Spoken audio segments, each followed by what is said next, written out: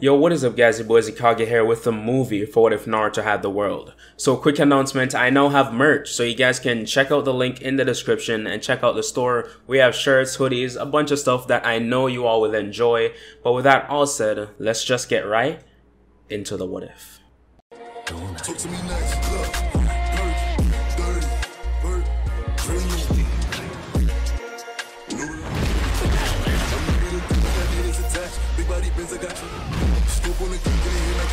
Talk to me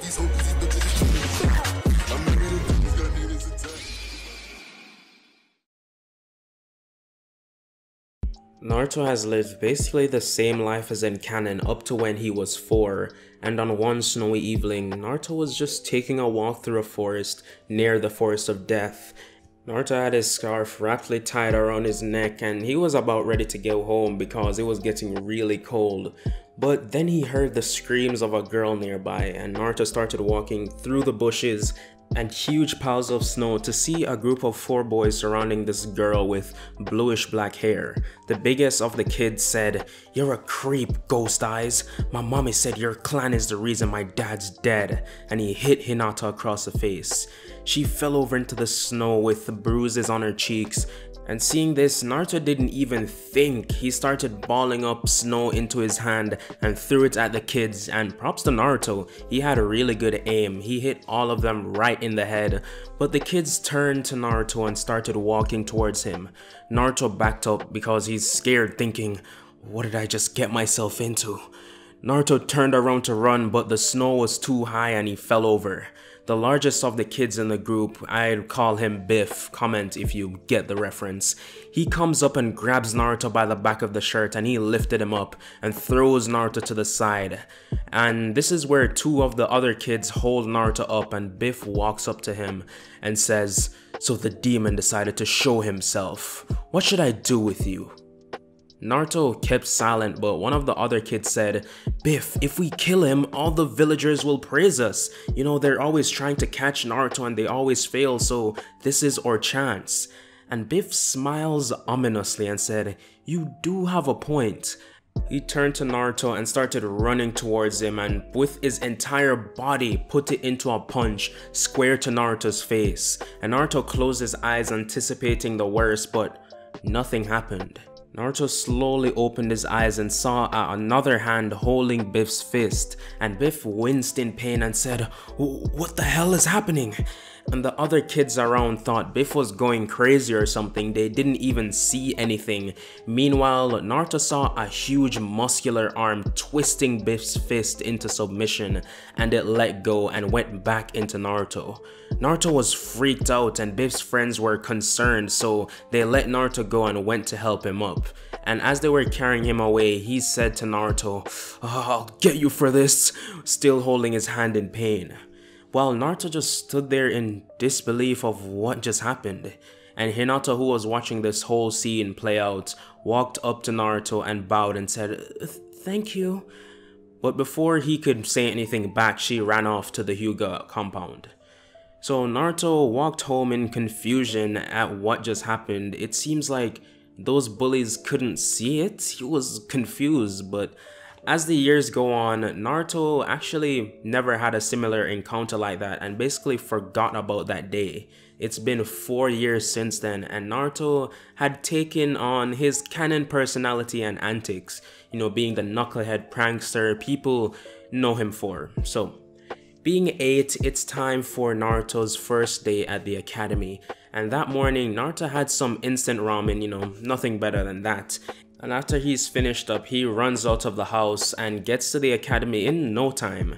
And in class, Naruto walks in and he is excited. He wants to meet new people, but he walks in and everyone is just talking amongst themselves, just not acknowledging Naruto's existence. And they all go about their day and Naruto for a moment felt sad, but he quickly cheered himself up, you know, smacking his cheeks, pause, and went to sit down.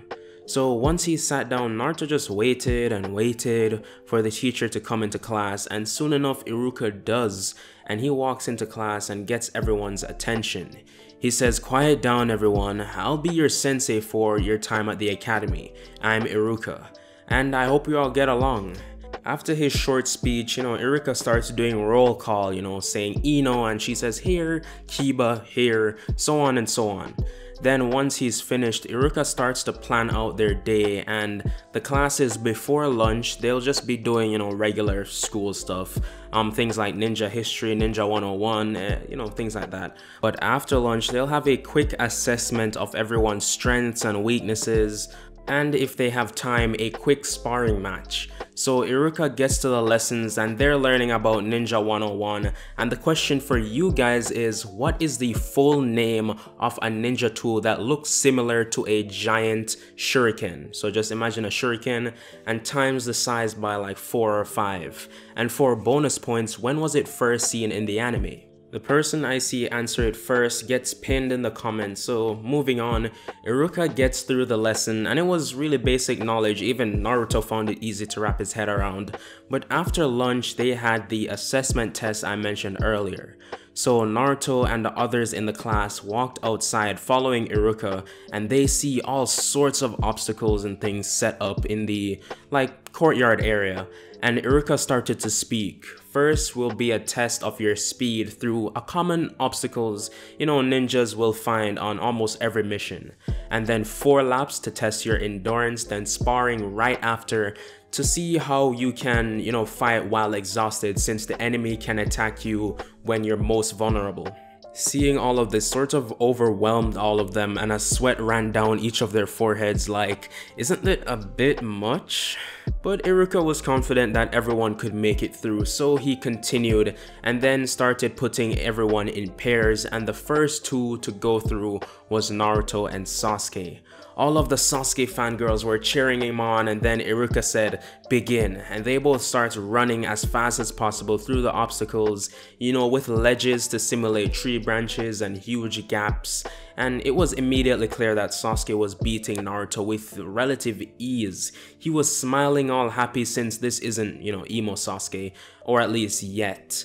So Sasuke made it to the sparring uh, area before Naruto, and Naruto he's on his like second lap, and he's running off nothing but sheer willpower. He's completely exhausted at this point, and he's pushing himself, and Naruto manages to make it through and he drops on the ground as soon as he makes it with his tongue out and everything, you know, breathing rapidly.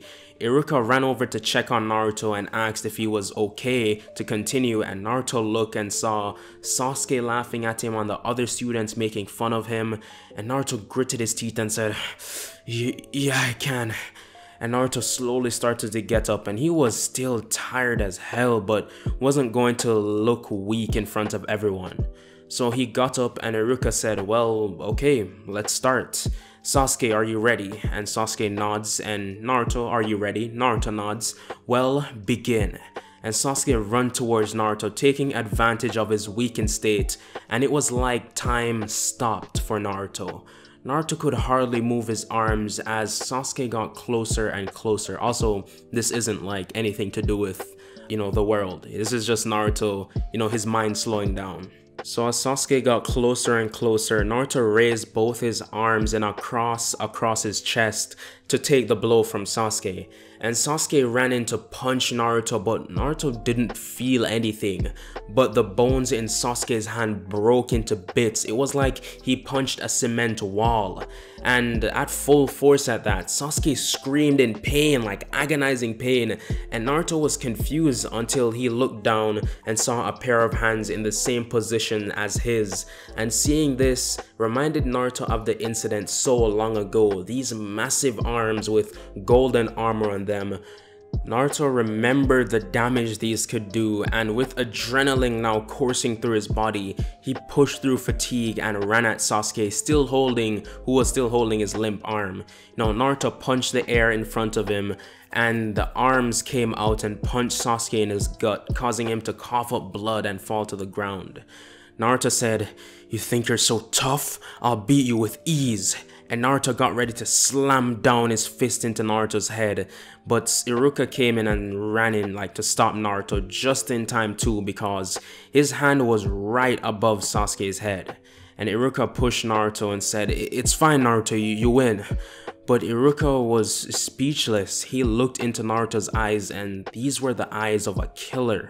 Chills ran down his spine and he let Naruto go, scared for his life, honestly. And Naruto turned around and said as he's walking away, get in my way again and I'll take you down too. Naruto walked towards the infirmary but collapsed before reaching it, and he came back to his senses and remembered everything that just happened. You see, Naruto was just acting off his dormant instincts, his instincts to kill. And Naruto looked at his hand and said, Was I really going to kill Sasuke? But then a face appeared out of Naruto's hand, and this was the face of the world.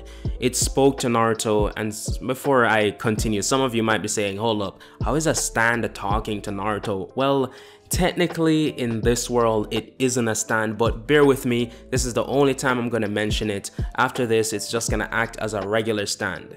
So the stand said, I am a demon sent from the Grim Reaper, or as you Japanese call it, a Shinigami. So flashback to the death of both of Naruto's parents after, you know, sealing the Kyuubi. No, Minato, he died, but before the Reaper disappeared, Kushina with her dying breath said, I want my son to live, please protect him. And the Grim Reaper took the sword out of his mouth and said, Kushina Uzumaki, for your clan to be able to create a jutsu capable of summoning me is truly amazing. So I grant you this. And from the Reaper's stomach came a golden demon, and he instructed it to protect the child. And the demon nodded and floated over to Naruto before turning invisible. Then the Shinigami finally disappeared and Kushina died. So I hope you guys like that explanation. I think it works because just like how no one can see the Reaper, you know, during the Reaper death seal except the caster, I think that, you know, it's really the only way to make it work within the Naruto world. Yeah, I could have just used a stand arrow or said he was born with it, but I like to make life difficult for myself. Yay! But anyways, moving on. Then the demon says, My name is the world, and I give you full control. And the face disappeared. Naruto was truly confused to hear about, you know, the heroic acts of his parents. You know, he was pretty happy. The demon didn't mention their names or anything, but told him a few important things, like its name and how to call for it, you know, whenever he needs it. So Naruto picks himself up after a bit of rest and made his way home where he stayed for the rest of the week, missing school, and during this time, Naruto learned how to summon the world on command. But whenever he does, it's not the entire body of it, just the top half. But you know, Naruto, he'll get there eventually. So when Naruto returned to school, people were rightfully scared of him. They didn't want to make Naruto mad because they saw how that worked out for Sasuke. He got messed up. But luckily, Naruto kept to himself and as he grew stronger, the more power he wanted. Nothing much happened that day of school, so after that, Naruto wanted to change up the fit a bit, you know. He went to a clothes store in the shopping district and he picked out some clothes similar to Dio, you know, yellow pants, a short unzipped jacket with a black undershirt. And Naruto went to pay for it, but it was way more expensive than he thought because the clerk raised the price just because it's Naruto, the quote unquote demon. And this pissed Naruto off. He said, You raised the price. And the clerk laughed and said, If you can't pay for it, get out of my store. And Naruto says, One day I'll own this damn store. And he summoned the world and punched the clerk out of the store and walked out wearing the new clothes. And Naruto laughed and said, Once I'm a ninja, I'll rule this village. So fast forward 5 years and during this time, Naruto's personality has taken a drastic change, which is foreseeable when he has a actual demon within him. But yeah, Naruto lacks remorse for people in a fight, but also he's gotten a lot more smarter and calculating. This even shows in his grades because they've skyrocketed to second place, only being bested by Sakura because she literally lives in her school books. So to the graduation exams. Iruka comes into class and he starts to explain how the exam is going to work and he says it's actually going to be a pretty simple one, easier than any of the previous years. He says all you have to do is cast a clone and they'll average out your grades over the years to see who the Rookie of the Year and the Kunoichi of the Year is. So one by one, everyone goes up to the front of the class and casts some clones. You know, some of them are illusions while people like Sasuke, who are more advanced, have solid clones, but he can only make one.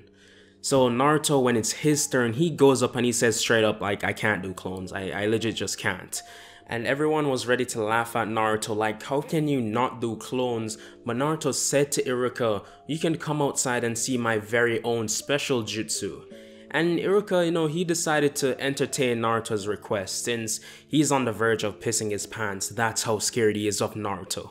So they go outside and Naruto points to Sasuke and says, in two seconds I'll defeat you. And Sakura and Ino burst out into laughter saying, Naruto, let's be honest, you're not beating Sasuke, especially in 2 seconds. But Sasuke, he put his hand out in front of the two of them and said, eh, let's see what you got Naruto, because you're not the only one who's gotten stronger. And Naruto laughed and said under his breath, big mistake.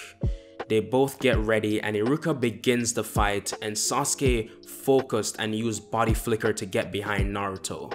But he said, you can move as fast as you want, but I have time on my side. Naruto screamed,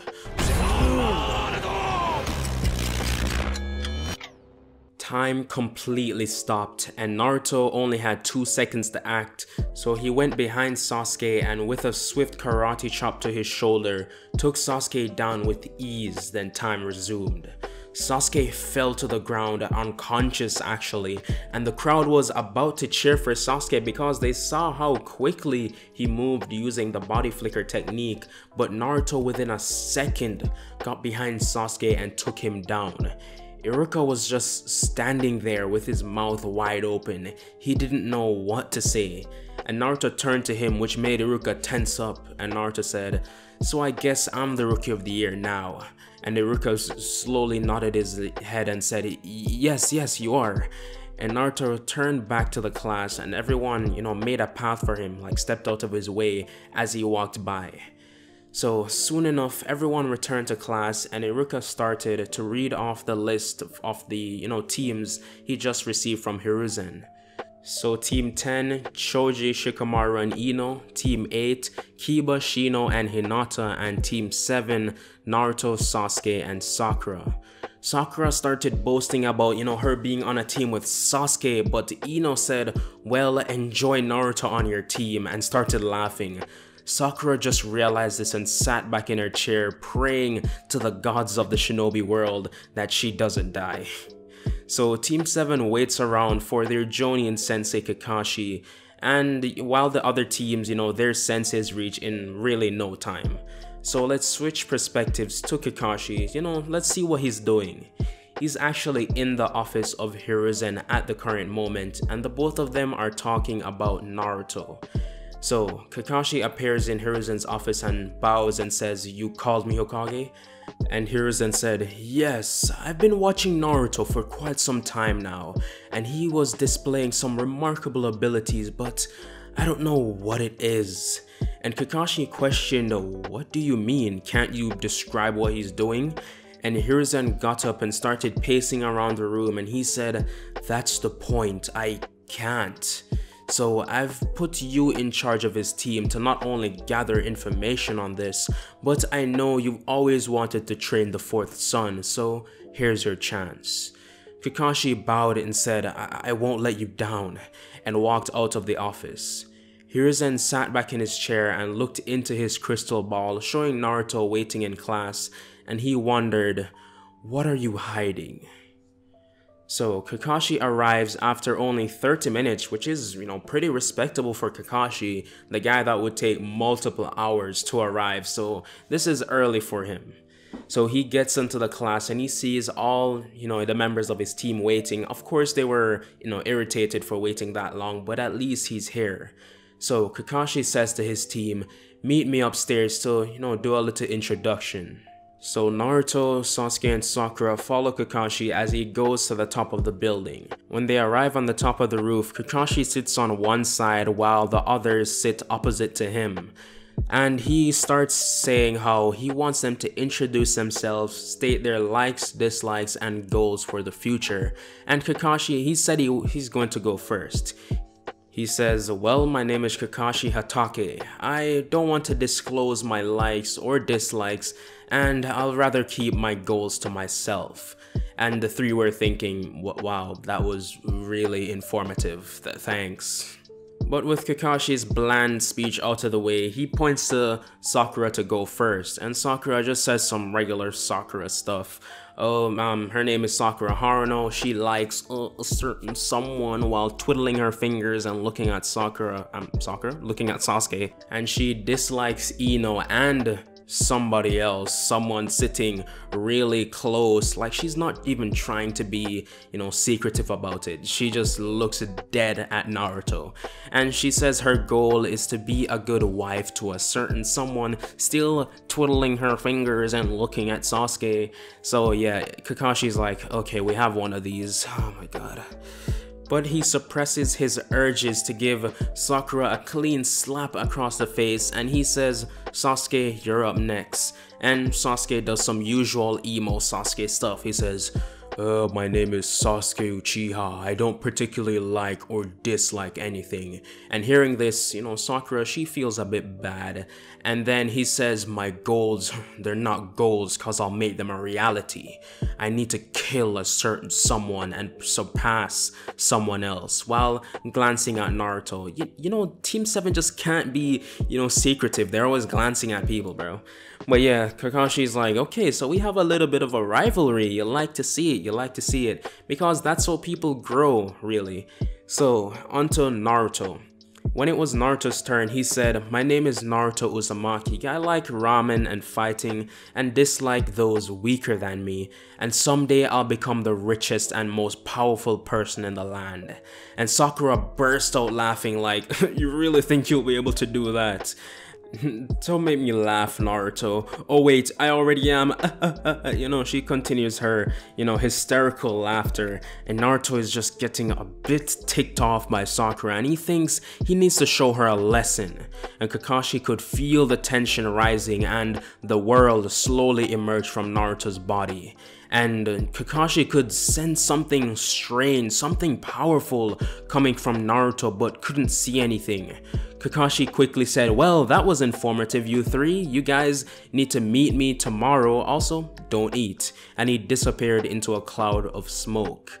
The world went back into Naruto and he just got up and went home, while Sakura kept trying to make her advances onto Sakura why do I keep saying Sakura? Onto Sasuke, which kept failing. So we skip to the next day and we see Team 7 all under a tree, you know, getting some shade while waiting on Kakashi to arrive. And of course, we all know on his way to meet Team 7, he would stop at the burial ground to mourn his teammates' loss.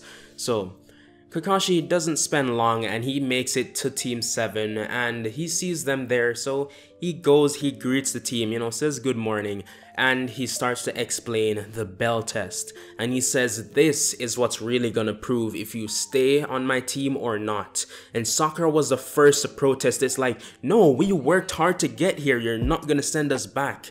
And Kakashi said oh really and Sakura you know she felt like this was a challenge so she backed down from it.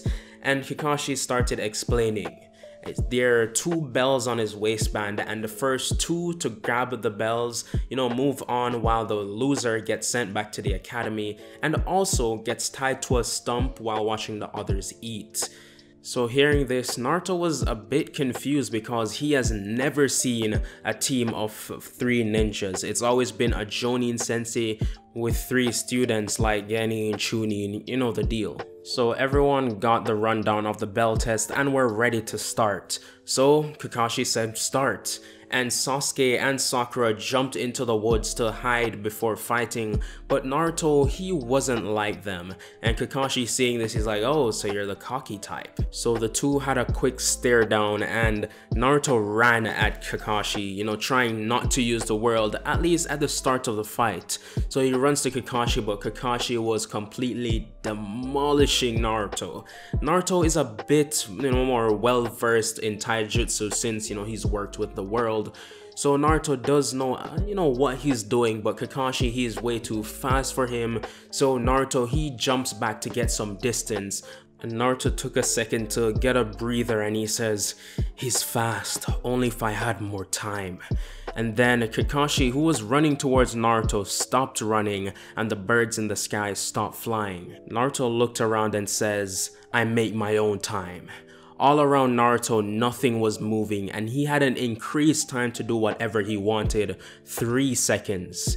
Naruto couldn't feel the wind, people walking by stopped and when he called out for his teammates, they just stood frozen like statues. So Naruto took advantage of his power and rushed Kakashi and activated his stand and started barraging him with punches and repeated one word over and over.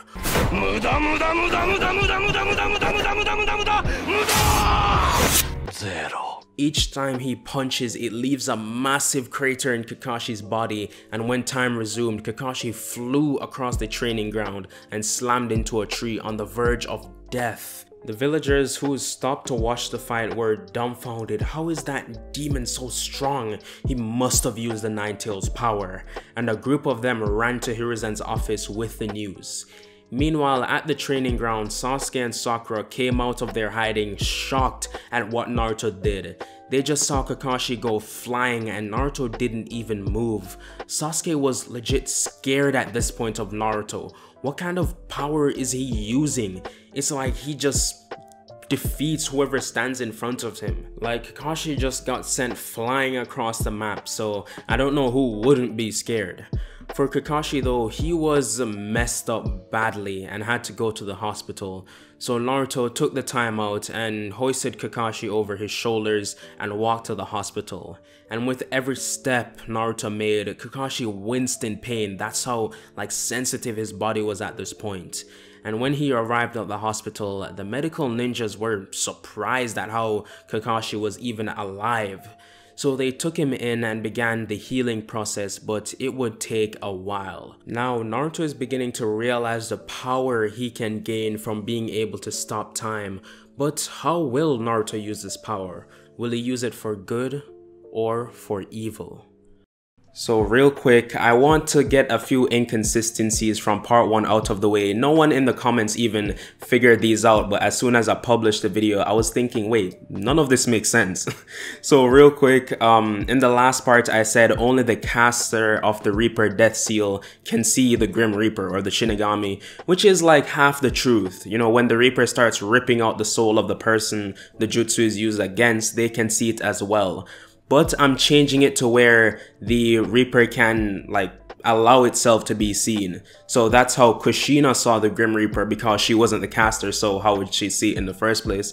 So that's how I explained that. So yeah it allowed itself to be seen and I might do the same thing for um, the world as well since it is a part of the Grim Reaper. It is a demon so I might do that but I might just leave it up to you. Just leave it in the comments if you'd want the stand to sometime you know be seen by other people or I may even bring in more stands from the original JoJo series Okay, geez, almost two minutes and I haven't started the what if. So, we start this off in the hospital with Kakashi and, and he's there talking with Hiruzen about, you know, what Naruto ability could be. And he says to Hiruzen, he was about to have an all-out fight with Naruto, but the next thing he knew, he was flying through the air and smashed into a tree. And Hiruzen, he's like sitting at the side of his bed trying to come up with any possibility to explain like what Naruto can do. Maybe it's a genjutsu, but Kakashi said not possible. Naruto doesn't have that type of mastery of it. Even still, he has the Sharingan so he would have been able to see through it. So the two were just completely stumped by this, but they have to start out little by little, and for this Hiruzen knew the right person to ask. So we fast forward a day later and Kakashi called in his team, you know, he called in team 7 to tell them what to do while he's recovering. So all three team members enter his hospital room and Kakashi is in really bad shape. Almost its entire body is in a cast. And Naruto seeing this, you know, he you would think he would feel remorseful, but Naruto was amazed by his strength of what the world could do. Like just imagine when he gets stronger, but Naruto is pulled from his fantasies when Kakashi starts to speak. He says, You guys can't do any missions without me. That's just the law of the village. But I want you all to start training together. The point of the whole bell test was teamwork, but someone didn't let me explain it due to my injuries. And Kakashi said this while staring daggers at Naruto, but continued on. For a team to function, its members need to be a unit, not individuals. And Team 7 Yes said together, Yes, Sensei, and bowed. So they left the hospital room and head over to the same training ground from the bell test, and they were just standing out there looking at each other, not knowing what to do, until Naruto sighed and says, We won't get anywhere just standing around. Follow my lead. So he walked over to a tree in the forest nearby and activated his stand. And Naruto got into a low stance and started punching at the tree, but he wasn't touching it the world was doing all the work, but to Sasuke and Sakura, it looked like Naruto was really like destroying this tree. And while this is happening, Hiruzen and Hiashi Hyuga were watching and Hiruzen said, do you see any chakra movements? So Hiashi, he squinted his eyes to focus on Naruto's chakra network and he was surprised. He thought Naruto was using some technique similar to maybe Tsunade where she would use chakra to boost her strength on her fists. But no, like nothing. Naruto didn't have any movements throughout his entire chakra network. It was actually incredible. Hiashi had never seen anything like it and he told Hiruzen, I, I, I, don't see anything, like to be honest. I don't know what to make of it. I don't see any movements at all. He has a massive amount of chakra, I mean figures because he's an Uzumaki, but he isn't using a drop of it. So Hiruzen, he stayed quiet, trying to wrap his head around this, but the more he tries to understand Naruto's abilities, the more confused he gets. So we switch back to Naruto and with a single punch he splits the tree into half and his teammates were impressed to say the least. Sasuke and Sakura wanted to learn how Naruto was doing this but to ask him that means that they're admitting that they're weaker which neither of them want to do. Alright, Sasuke I get he doesn't want to admit he's weaker, you know, he's an Uchiha, yada yada yada. But Sakura? Sakura doesn't want to admit she's weak. Moving on. Sasuke says, I don't need any help from you to get strong, and he turns around and walks away. And this entire time, Sasuke is thinking that when he gets his Sharingan, he can copy whatever Jutsu Naruto is using and make it way better. Foolproof plan, right?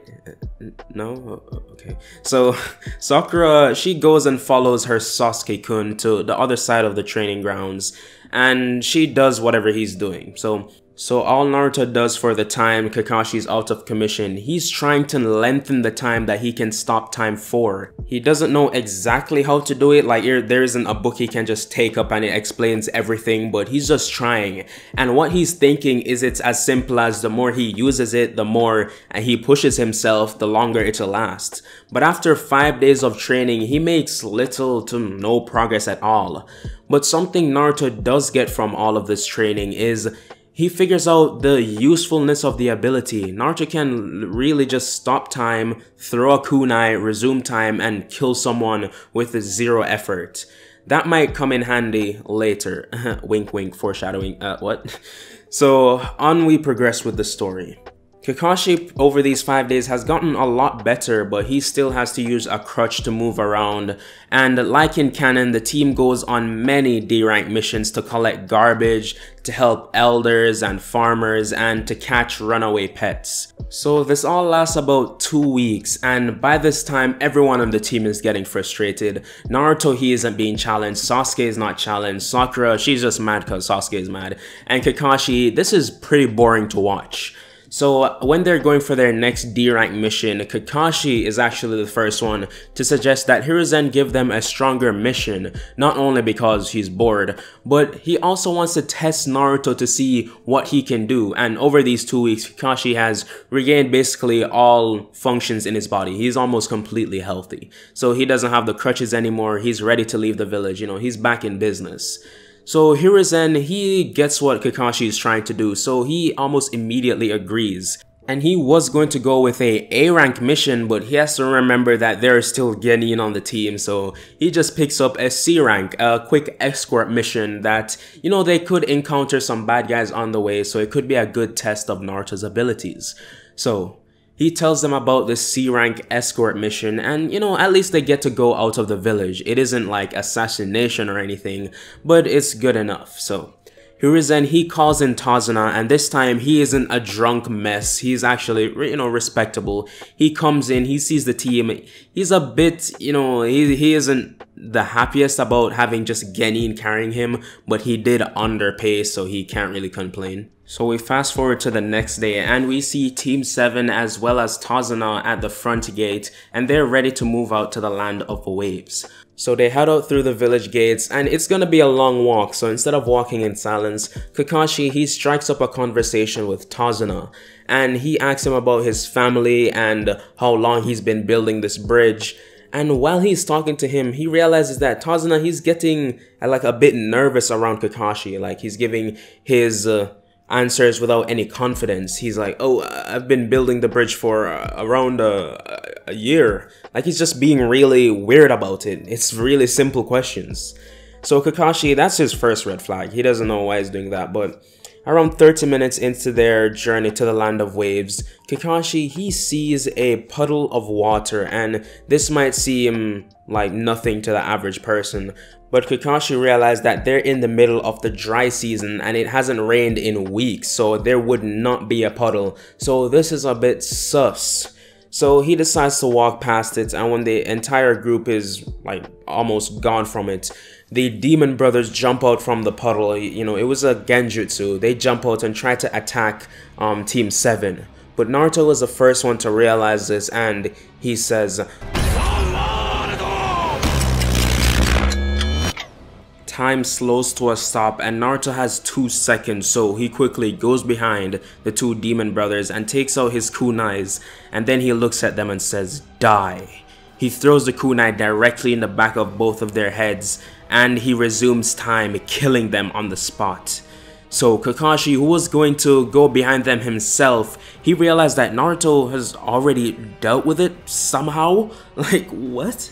So he tries to get some information from Naruto like uh, saying, how did you do that? But Naruto, he kept silent and said, don't worry, they're dead. It doesn't matter.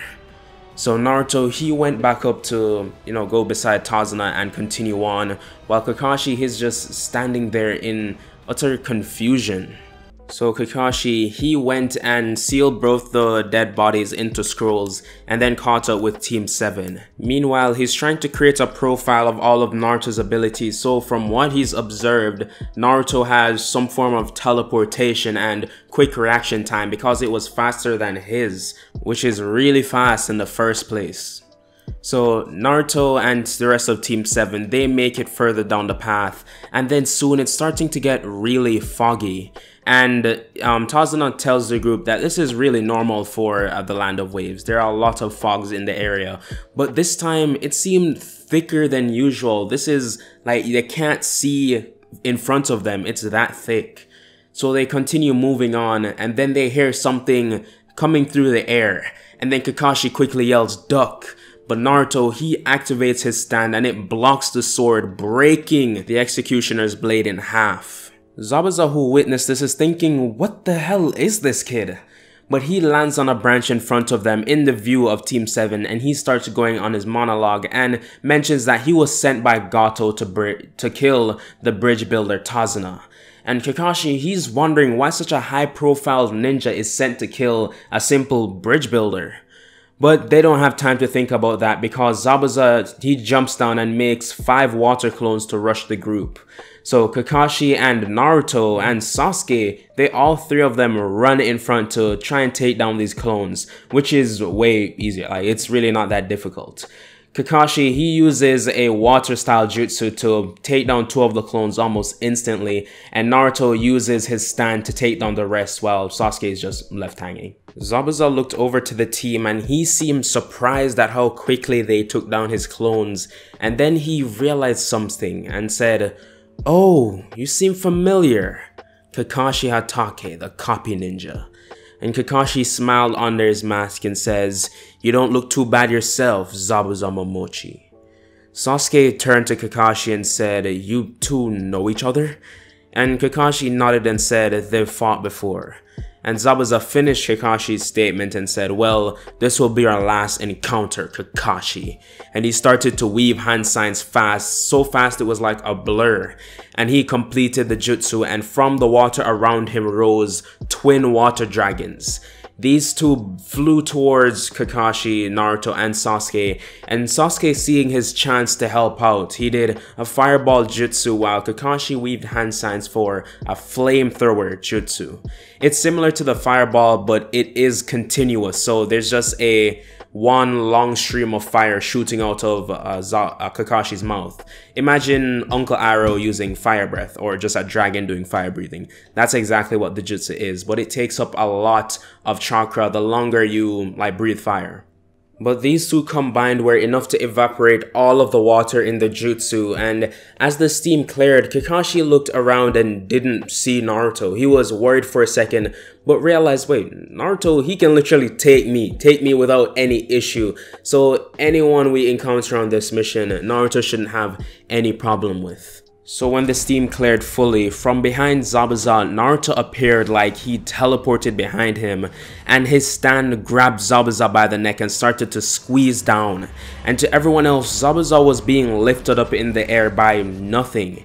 He was just flailing his arms and legs around, just floating and begging Naruto to stop. This was the first time Zabuza has ever uttered any word like that.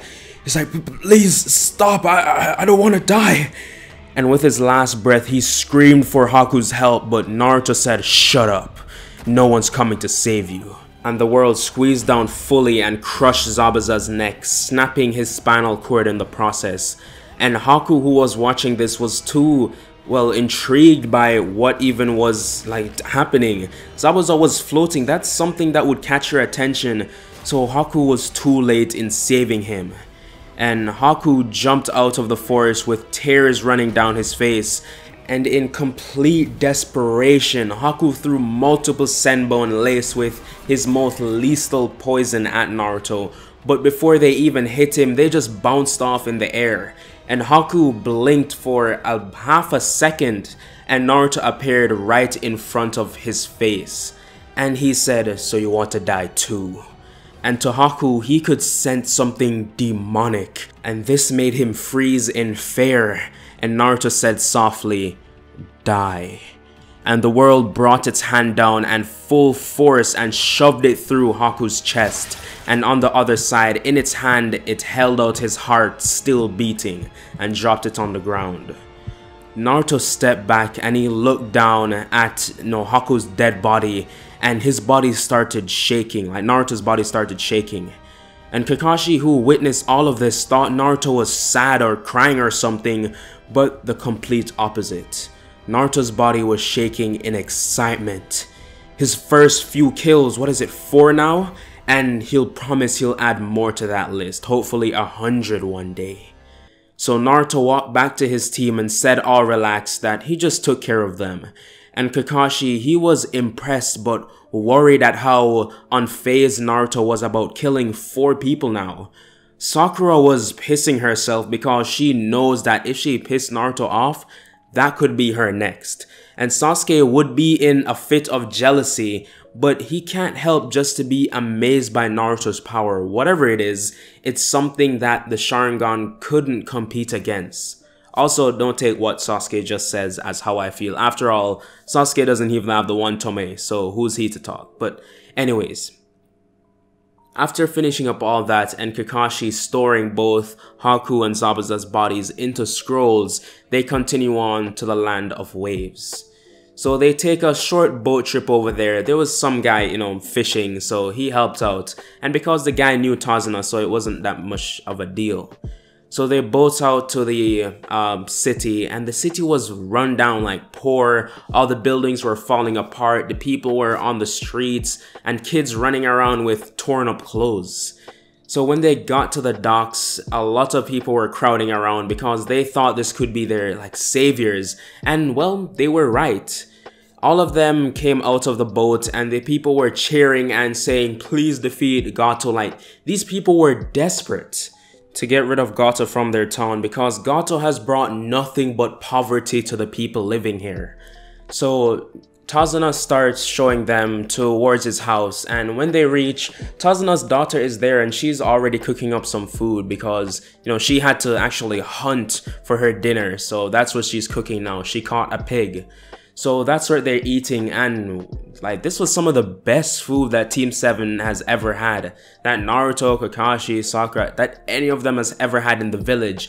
Some could say better than Teuchi's ramen, but hey, hey, I won't go that far.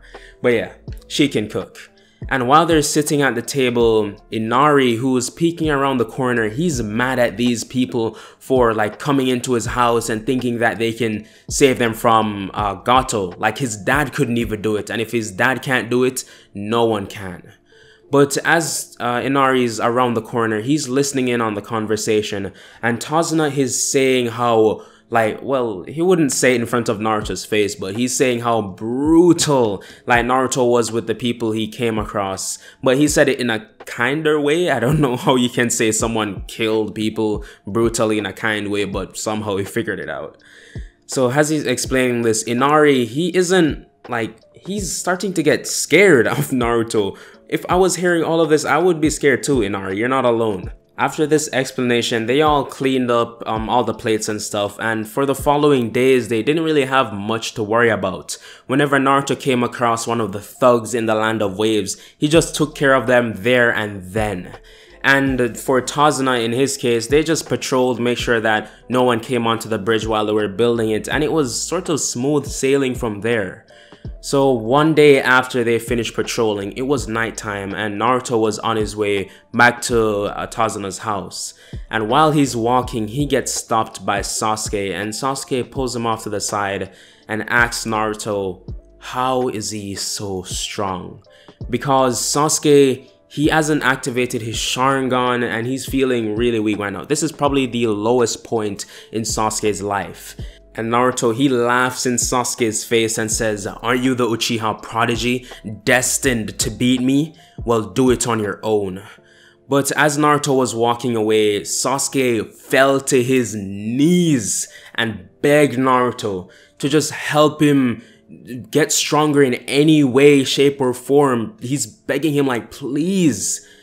And Naruto, he couldn't stop laughing. This was so amusing. But he feels bad for the kid. This is the one time Naruto would feel this way. And he says, Get up off the ground. You groveling at my knees. It sicks me. The only time I want to see someone beneath me is when I beat them down.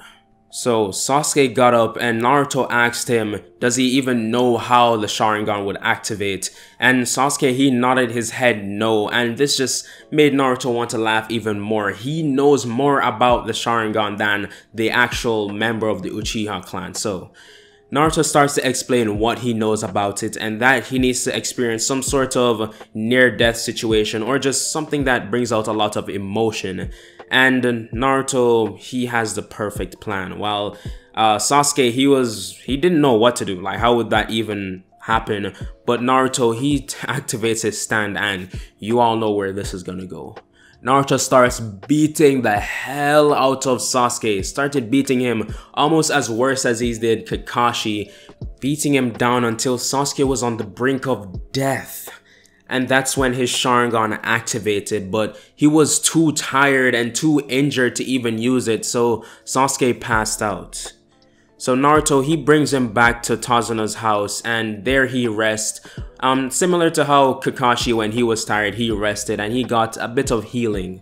Because Tazuna's daughter, she knows stuff about herbs, she isn't a healer, but some of the herbs in the forest around them, they're good for, you know, recovering. So after about a day is when Sasuke can walk again and after two days is when Tazuna and his men are almost done with the bridge.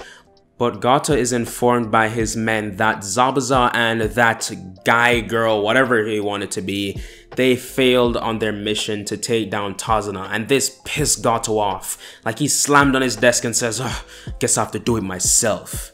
So he gathered all of his men and they got onto boats and sailed over to the bridge and climbed on and Gato and his massive army faced off against Team 7 and we can all guess how this ends. Gato gets completely annihilated. Naruto doesn't even step into this one.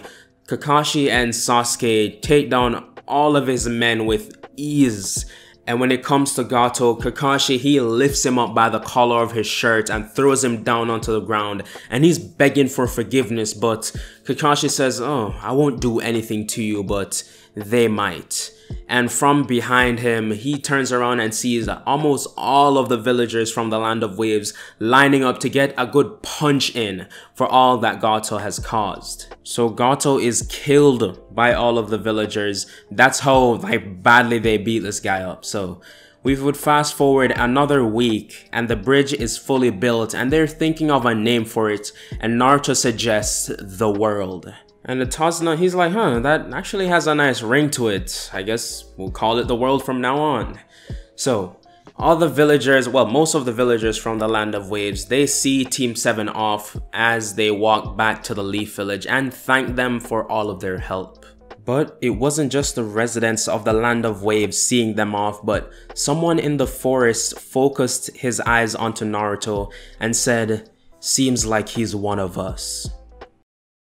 So we start this what if off where we left off with Team 7 on their way to the Leaf Village. Also, last time I left off with sort of a cliffhanger and now I don't really know what to do with it because people made it clear that they don't want any more stand users when my plan was to bring in someone like uh, King Crimson or Jojo from, you know, Jojo's Bizarre Adventures and have a huge fight with them with Naruto nearly losing his life, but I guess you all missed out on that because no one wanted it. So I'll just have to change up the entire story and hopefully you guys like it and let's see how that goes.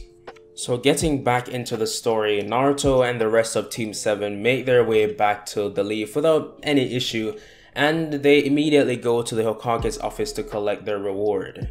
So when they enter Hiruzen's office, Kakashi tells Hiruzen that that was definitely not a C rank mission because they came across Zabuza Momochi. So of course, Hiruzen gives them the proper pay for a B rank mission and actually apologizes because if it was really any other team than Naruto's team, the, that could have ended up in the entire team dying. But before they left, Hiruzen told them about the Chunin exams and Sakura asked, what are the Chunin exams? So Hiruzen, he turns to Kakashi and says, you didn't tell them Kakashi. And Kakashi responds with, he was just going to tell them later on. So Hiruzen, while they're there, he just explains to them that it's a test that, well, are going to test them to see if they're ready to be promoted to Chunin. And if they pass the test, well, they get promoted to Chunin. And Sakura, she's the only one excited in the group because, you know, she's ready to be promoted and go to even higher ranks, maybe even Jonin one day. But Naruto and Sasuke weren't that interested to be honest, but they still wanted to do it because, you know, they had to get everyone in the group's consent to go ahead and join the Chunin exams. So before they left, Kakashi advises his team to train for these exams because they're going to be really hard and people from different villages are coming so they really don't know what to expect. So they would take their advice. I mean, they wouldn't need the advice. They were going to train anyways. But yeah. We fast forward a day and Naruto, Sasuke, and Sakura are at the training grounds, but they're all separated from each other, well, except Sasuke and Sakura, who Sasuke is trying to get Sakura off of his back because this girl is really slowing down his training. So he stops for a second and tells Sakura to wait here while he does something important. Sasuke, he goes over to Naruto and asks, can you show me how your ability works? And Naruto, knowing Sasuke wasn't trying to learn anything from him, said, sure, but trust me, your Sharingan won't be able to copy it. And Sasuke froze wondering how Naruto knew. But Naruto continues saying that there's just a fundamental truth that he doesn't seem to understand. And that's, I'm better than you, and that'll never change unless you get stronger. And as he said that, the world punched Sasuke in the gut and he held his stomach in pain and fell to his knees. Naruto looked over Sasuke and said, I want you to get stronger though. I can't have weaklings for teammates, so, word of advice, revenge isn't what makes you stronger. It's the thought of being weak that pushes you, the thought of climbing to the top, the thought of those who once looked down at you to be at your feet just like you are right now. And he kicks Sasuke back. Sakura seeing this ran up and lifted Sasuke off the ground, but as she was going to berate Naruto with insults, Sasuke said, Sakura, stop. Don't you realize you're annoying? And this shocked Sakura to her core as she just stayed there not moving while Sasuke got up and hobbled over to one of the training logs. So they train on their own, and after two weeks, they were ready to start the Chunin exams. The day before the exams, Naruto was walking down a street in the metalworks district of the village, and he saw Sasuke at one of the stands refilling his kunai and ninja stars. So Naruto went up to the same guy and bought some, then turned to Sasuke and asked, Are you ready? And Sasuke smirked and said, Of course I am. I've gotten way stronger these past two weeks. I bet I can even get one up on you. And Naruto took out his frog wallet to pay and says, I'll be the judge of that. So the two walked back to one of the training grounds to stop and have a quick test of their abilities. And Naruto said, So, how are you gonna defeat an enemy you can't see?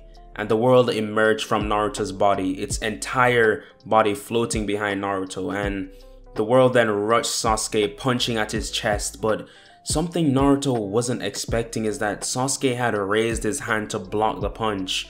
Granted, it did nothing, and Sasuke still suffered heavy injury, but Naruto was amazed that he could even tell it was coming. So Naruto asked how did he do it, and Sasuke just responded, Ever since I got my Sharingan, I can get a slight read of where your jutsu is going to attack next. And Naruto turned around and as he was walking away said, You got lucky. So fast forward to the next day and Team 7 is gathered outside of the academy to, you know, go in and start the Chunin exams. But before they could even walk through the doors, they're being blocked by the amount of Genin trying to get in. But Naruto and the others try to manage to squeeze through and then they make their way upstairs to where the real Chunin exams begin and all the while they're being watched by one of the other teams, Team Guy or Team 9, RIP Neji. And they're watching them all the way upstairs, and Neji was first interested by this team because they saw through that Genjutsu really easily, easily. So when they get upstairs, Lee was the first one to approach and ask Sasuke for a fight because, well, Sasuke is should be the prodigy Uchiha. So Sasuke he does accept and the fight goes, well, the same as canon. Sasuke loses in spectacular fashion and this really taught Sasuke that Naruto isn't really the only one above him. He has a lot more obstacles to face before he can even test going up against Naruto. So after he finished up that, they all went to the actual room where the first stage would begin. But as soon as they enter the door, they see rows and rows of just ninjas just waiting there. And because of the loud noise the door made, they all are now staring at them. And Sakura, she's shaking like, these all can't be the applicants, right? But Naruto, he walked in front of his team and they followed behind, and Naruto just said, just keep quiet and mind your own business. So while the three were waiting in the corner for their invigilator to come into the room, they were approached by this guy with silver hair, Kabuto. And he starts to explain to them about the different people here, and he's using these well, not really magical cards, but these cards he uses his chakra to infuse some data in and show them some stats about the different people in the room. And after his, well, they Naruto just saw it as a magic show, while people like Sasuke and Sakura were actually interested in like the different people in the rooms and all they've done, like their achievements. And after he went away, Kabuto he actually checked the Naruto's card and he was amazed by it. Naruto had taken down Zabuza Momochi. That is a impressive achievement.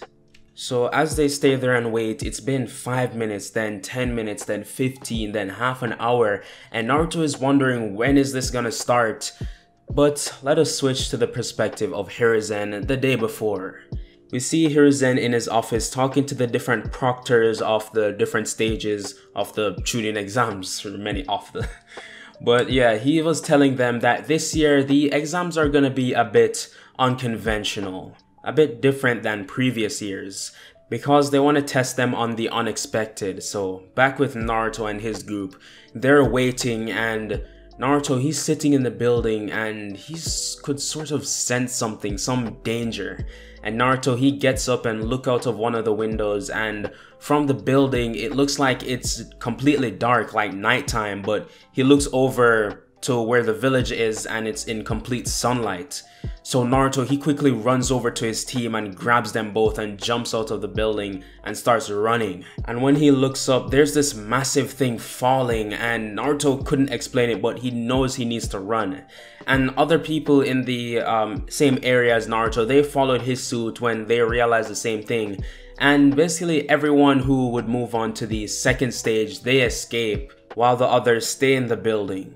So we flash back to the office with Hiruzen and Ibiki asks, so what are we gonna do for the first stage?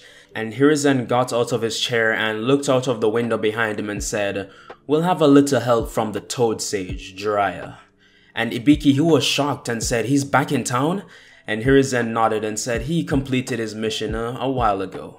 So back to the present with Naruto and when he gets out of the range of this thing falling, he looks up and gets a, a proper view of it and it's a massive toad. Naruto, he's confused and so is everyone else outside looking up. And then as the toad was about to smash into the building, it poofed into smoke just in time. And Jiraiya, Ibiki, and Hiruzen all came out of hiding and he started to explain what this all was. It was supposed to test how they can quickly react to something that they've never really experienced before. Like, when are you ever going to see a toad falling on you? Those are the kind of things that can happen in battle. You never know what the opponent's jutsu are. You never, you don't know what they can just pull out. So Hiruzen commended Naruto because he was clearly the first to realize all that was happening and the fact that he went back for his teammates when he could have just jumped out of the window himself, he also got some respect for that. But after receiving all of that praise, Naruto made a weird request to Hiruzen. He turned to him and asked, can we just skip all the pleasantries? I want to fight everyone here. And Hiruzen said, yes, we'll get to that. You know, you'll get your chance to fight. But Naruto said, no, I want to fight everyone here at once. Like a 1v10 or however many ninjas there, that type of situation. So Hiruzen, he looks over to Jiraiya for some input, but Jiraiya just shrugs, saying, hmm. So he looked over at all the remaining people and said, I would let you do it, Naruto, but there's just too many people here. We can dwindle them down in the second stage. So Naruto, he accepted this, so they had to move on to the second stage, which would remain the same as the canon. Naruto and the others who moved on would meet up with Anko at the Forest of Death, and she starts explaining all the rules pertaining to this stage and how that they are allowed to kill, and that they're deadly beasts in the forest, so they should probably be careful. And after her whole speech, um, she instructs them to go and collect their scrolls, either a heaven scroll or a earth scroll. It's just given randomly.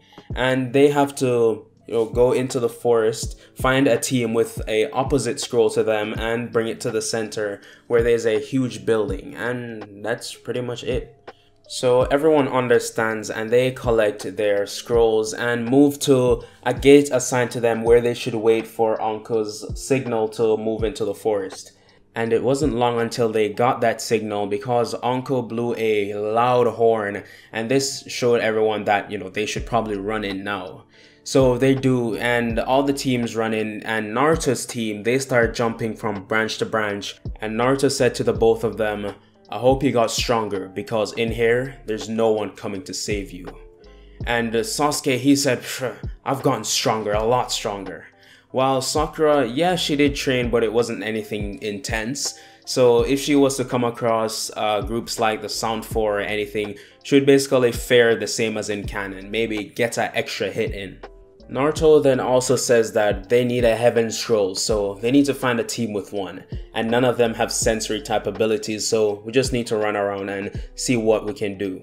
So as the team is jumping from branch to branch, they're going along. They see this single ninja just standing out on their own and the team stop to observe what they're gonna do and this person turns around and their neck extends towards the team and Naruto quickly grabs the back of the shirt of uh, both of his teammates and jumps back to create distance so like the neck thing wouldn't catch up to them. Naruto doesn't even know what this thing is.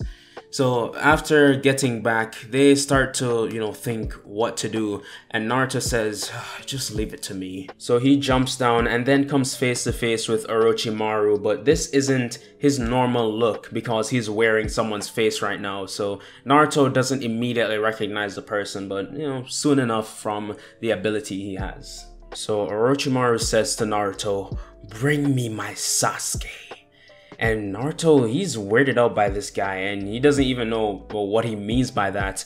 But Naruto, he rushes Orochimaru and Orochimaru was actually surprised because Naruto was quicker than he thought. So he dodges because, I mean, he's still faster. And Orochimaru was just going to play around with Naruto like he did with Sasuke, you know, take a few blows and then defeat him. So as Naruto got closer to like hit him, Naruto punched the air in front of him, but then Orochimaru felt a massive fist almost punch through his stomach. He quickly jumped back and his skin started peeling and he held his stomach and asked, what the hell is this kid?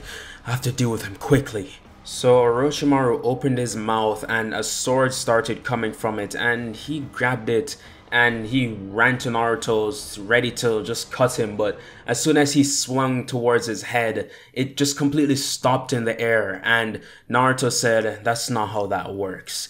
And the world grabs onto the sword and yanks it, pulling Orochimaru closer and then punches him in the head. And this sent Orochimaru flying back, leaving a dent his size in the tree.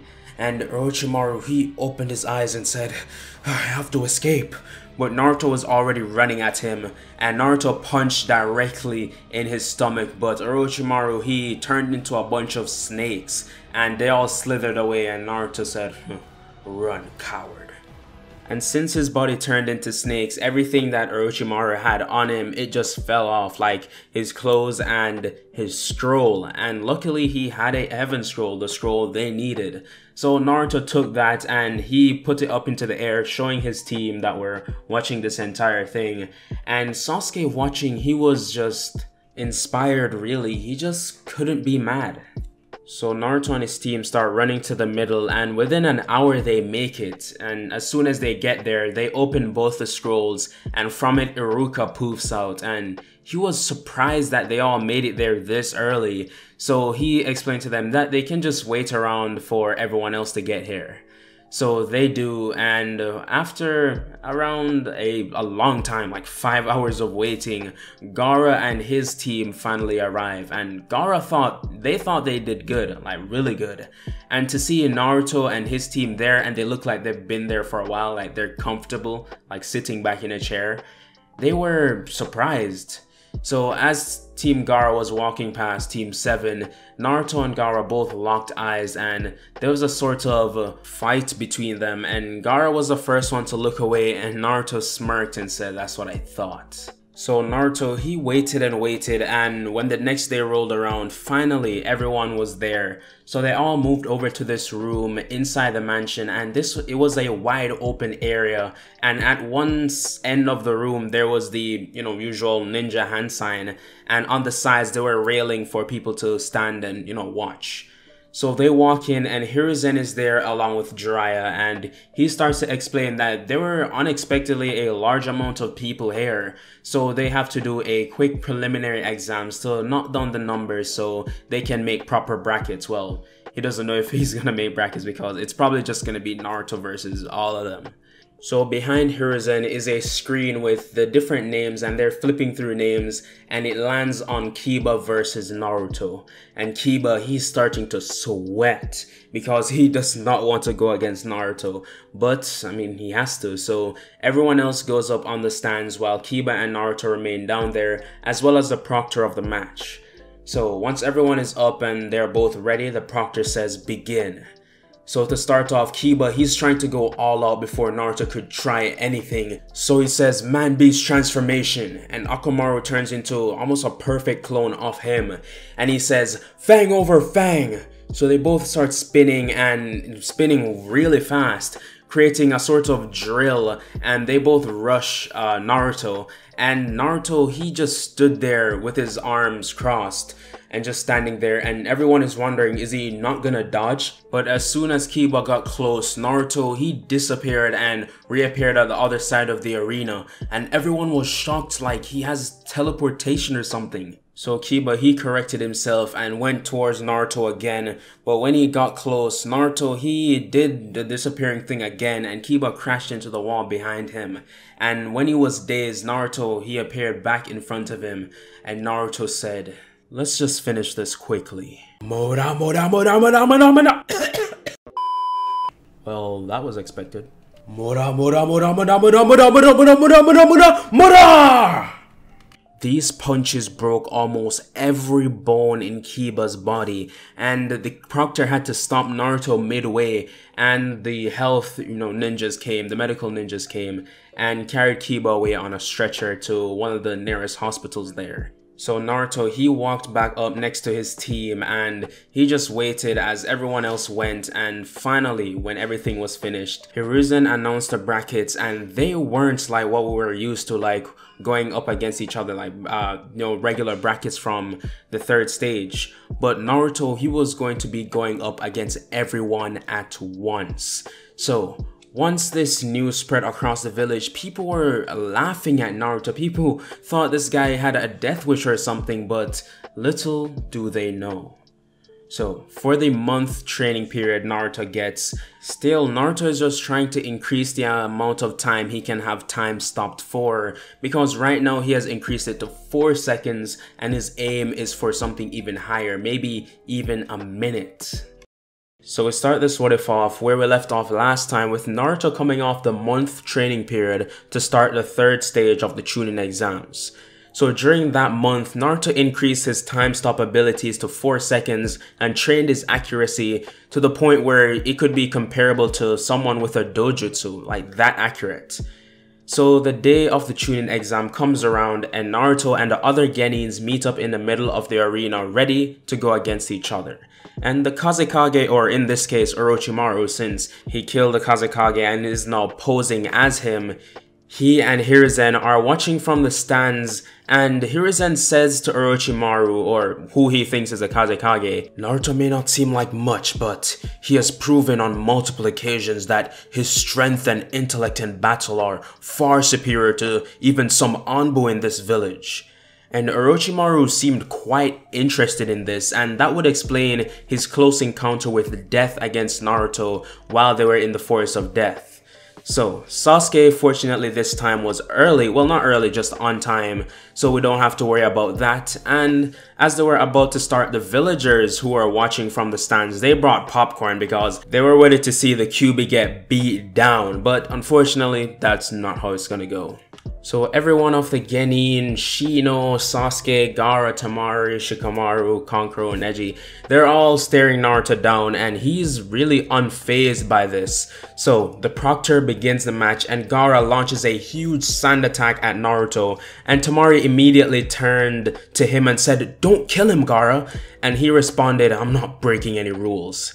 And the sun slowly surrounded Naruto and Gaara said, sand coffin and clenched his fist close. Blood started seeping out, um, seeping into the sand, and Gaara began walking off. And Hiruzen was on his feet worried, and people in the crowd said, That's it? I thought this would be a decent fight. And Gaara, as he was walking, he got teleported back to Temari and Kankuro. And Gaara looked around confused and tried walking back to the uh, to you know where the audience is to the stands. But each time he kept getting sent back to his original spot next to Temari and Kankuro and Sasuke knew only one ninja was capable of doing this Naruto. So he said Naruto stop hiding like a girl. And a voice said from behind him but I'm not hiding. And Sasuke spun around quickly to see absolutely no one. And Naruto appeared behind him and said, looking for me? Sasuke turned back around and got punched across the face. Gaara saw Naruto and said, eh, why didn't you die? And Naruto laughed and said, are you sure? And he points to the pile of sand and a body. The body turned out to be one of a sand shinobi, and people were thinking, but how? We literally saw him get covered. But Naruto had stopped time and swapped his place with one of the sand shinobi. So Gaara started throwing piles and piles of sand at Naruto, but Naruto, he just walked through it, being protected by the world and then he stopped time and started counting down from four in his head. And he took out a kunai and started throwing them um, in both of Gaara's thighs. And anyone really that was uh, a real challenge, you know, Gaara, Shikamaru, Sasuke, you know, the real heavy hitters, Kankuro, you know. So after time resumed, these kunais flew into everyone's legs and they fell to their knees because of the immense pain. Like Naruto would rip through their tendons, so they basically can't walk without being healed by a medical ninja. So the proctor seeing this, I mean, still there were still some people up. Naruto didn't do it to Temari and Shino. So he quickly teleported behind both of them and used the world to, you know, give them a few punches. Nothing to completely put them on death's doorstep because Naruto, they're his teammates, or at least they are in the same village, so he doesn't want to do them too badly. So after this, Naruto thought the proctor would call the match, but he saw that Gaara was getting back up, but this time he was mad. And Gaara, sand started covering his body, and instead of forming the sort of dome around him like in canon, it just covered his body in a huge pile of sand. And when it all fell off, it revealed Gaara's half Shukaku state. And he started going on a rampage using this, um, his Shukaku arm to knock Naruto around. But of course, this really didn't do anything. The stand would block all of the punches. So once Gaara swung at Naruto, he would simply jump over it and run towards Gaara. Gaara tried putting up a sand defense, but the whirled a punch straight through that and sent Gaara flying from the middle of the arena to the arena walls, almost sending him through it. So Gaara, he was almost knocked out. And Naruto, he went, like he stopped time and went to Gaara, basically looking like he teleported. And he gave him another punch, knocking him out for good. And Naruto thought this was, well, a good thing, but since Gaara was unconscious, this brought out the true Shukaku. And Temari and Kankuro, who were on their knees seeing this, they got scared and shouted for the uh, Konoha Crush to start. So people from the stands, they started falling asleep because they launched a Genjutsu while putting everyone to sleep. And Naruto seeing this realized the full scale of the attack and Hiruzen he looked over to the Kazekage and his disguise fell revealing that it was Orochimaru. And Orochimaru he pretended to escape by running up to the top of the arena and of course Hiruzen blindly followed him and this trapped him in a 4 barrier seal launched by the Sound 4. So while Orochimaru and Hiruzen's fight is going on, Naruto, he has to deal with the one-tailed Shukaku. So this beast emerged and immediately broke down the walls of the arena. Unfortunately, not going towards the stands because there, you know, Kakashi, Guy, some Jonin, they were dealing with the Sand Shinobi who were uh, putting these people to sleep. And he released uh, some other, you know, people who would be useful against these Shinobi from the Genjutsu. So Naruto, he has to think of how he's gonna even stop Shukaku and since Naruto doesn't know about the fact that if he just wakes Gaara up, he can put Shukaku back into his seal. So the biggest issue with fighting the, the One Tails is its immense size and Naruto only had one idea of stopping this and that's to use his own tailed beast. So the world emerged from Naruto's body and A's stopped times. And while time is stopped, Naruto enters his mindscape. And in the mindscape, time is perceived even slower than the real world. So Naruto could be in the mindscape for like half an hour. And that would be the 4 seconds that the time is stopped in the real world. So Naruto, he walks up to the Kyuubi's massive cage. And he says, Yo Kyuubi, you in there? And the Kyuubi speaks to Naruto saying he's finally there to ask for his help, but Naruto made it clear that he wasn't asking for any help. The Kyuubi is living in his body, so he needs to pay up rent. The Kyuubi laughed and said, You'll admit it eventually, but I'll give you my chakra this once. So the Nine Tails chakra begins flowing through Naruto's body and being that the world is a part of Naruto's body, it enhances the world as well. So Naruto, the world grows in size, not immensely to the size of like Shukaku, but to like around All Might size. Well, I'm not sure if you guys watch My Hero, but yeah, around like 8 foot. So Naruto, he has a surprising amount of control over the Kyuubi's chakra and he immediately knows what to do. He draws the world's fist back and it punches the air in front of it towards um, no, Shukaku. And just the pressure from this alone sent shockwaves towards Shukaku and it got knocked over a little bit but it managed to save itself. Shukaku turned around to Naruto and said, what does this pest want? And then he'd shot out wind bullets towards Naruto, but the world kept on punching the air, creating its own form of wind bullet, and he kept on doing this like rapid firing it. So this beat out all the wind bullets from Shukaku and it hit it in its chest, in its shoulders, on its neck, and eventually on its head where Gaara is, and this managed to wake Gaara up, putting Shukaku back into its seal.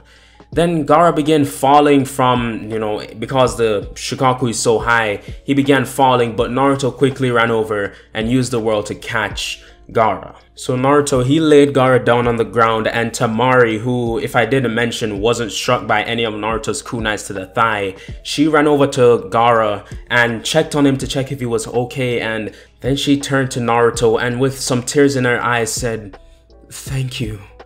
And Naruto, he said, uh, uh, whatever, I, it didn't matter to me. I didn't care if he died or not. He was just falling, so I thought that was a good thing to do. So Naruto, he walked off and then he remembered he saw someone attack Hiruzen. So he quickly went up to the roof where the barrier is and Naruto, he witnessed Hiruzen's lifeless body flop onto the ground. And Naruto, he screamed no to the top of his lungs and then he started banging on the barrier, but Nar it wouldn't budge for Naruto. And by this time, the Kyuubi's chakra had subsided and when finally the barriers fell, they all ran and Naruto quickly ran to Hiruzen and he was dead. He quickly looked towards where the Sound 4 and Orochimaru escaped, trying to see if he could catch up to them to get revenge, but they were completely gone. Naruto couldn't sense them, Naruto couldn't see them, he couldn't perceive them. So Naruto, he returned to Hiruzen, who is now surrounded by his personal Anbu, and they were sad too. I mean, they didn't want to show it, but definitely sad because they were a part of Hiruzen's personal Anbu, so they know him the best. So Naruto, he went around starting to clear the village of all the Sand Shinobi, making quick work of them. And this actually gave Naruto some good favor with the villagers because he ended up saving a lot of them who were about to die. And the explosions that were rigged to go off to blow up some of the walls in the village, Naruto, he made sure those did not go off inside the village. Or, I mean, even outside the village that would destroy the walls. So, after that, Naruto literally cleaned up the village entirely of all the San Shinobi, and when he returned to the arena, people were surrounding uh, Gaara as he was being taken to a medical facility. And over the next weeks, this would come to light that the Sand wasn't actually enemies of the Leaf. They were being tricked by Orochimaru. I mean, they were surprised that the Kazekage was dead. And when they figured this out, that's when they tell told the elders of the village who were now ruling in place of Hiruzen for a temporary you know, time being while they look for the next Hokage, which they have a good idea of who it's going to be. So after the word was spread that this wasn't really the Sands doing, they were being coerced by Orochimaru, hatred for Orochimaru rose in the village because, I mean, they know him as this person who experimented on children.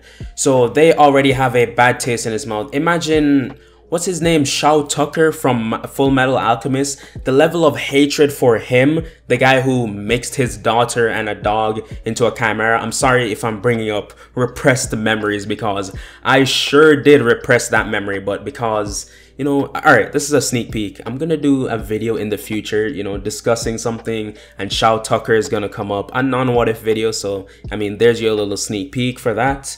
But yeah, he came up, and I had to rewatch those series. Lord, I am traumatized. But yeah, I'm getting sidetracked. Naruto was called into the Hokage's office by the elders and he walked in and saw the rest of his teammates Sakura, Sasuke, and Kakashi and he was wondering what everything was about and that's when they explained their next mission and it was to find the next Hokage, Lady Tsunade. Is her last name Senju, right? Yeah, Tsunade Senju. So, after hearing this, they were each given a picture of what she looked like because they have none of her belongings so they can't use Kakashi's Ninken so that's unfortunate. But they must go on, they, don't have to wait for any of that. So after that, they head out to the village and the first day is spending going around to different bars, restaurants, casinos, trying to find um, any intel on where uh, Tsunade may be, and they came up empty-handed. So Kakashi decided to let the team split up to cover more ground, and they would meet up in this one city. This city is having a festival, so they'll meet up there after two days. So Naruto, Sasuke, Sakura, they go around searching, you know, to different places, showing the pictures, and Naruto actually got a lead saying that the last they, she was here, but she left like a week ago.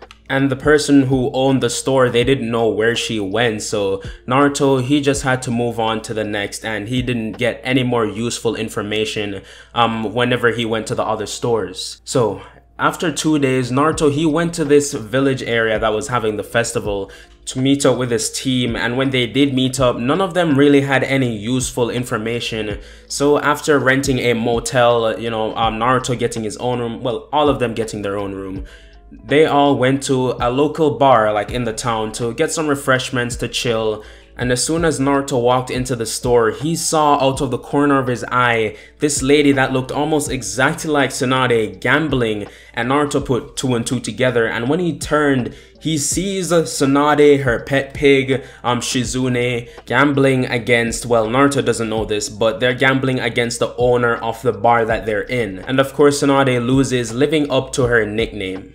So Naruto makes this clear to Kakashi and they all go over to Tsunade and by time they reach over to her, she, uh, the owner of the store, he's already walking away.